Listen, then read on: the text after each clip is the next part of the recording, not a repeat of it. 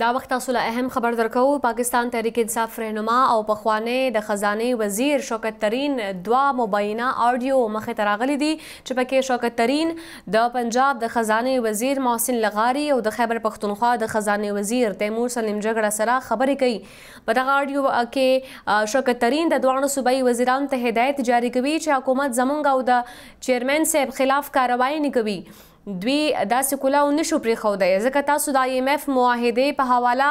خطونه ولیکئ. شوکت ترین ویلي چې تاسو داسې خط ولیکئ چې موږ کومه خبره د سېلاب نه وړاندې کړې وه، هغه نه شي پوره کېدای او داسې به حکومت لږ د ګرفتارو او دې معاملو نه په شا شي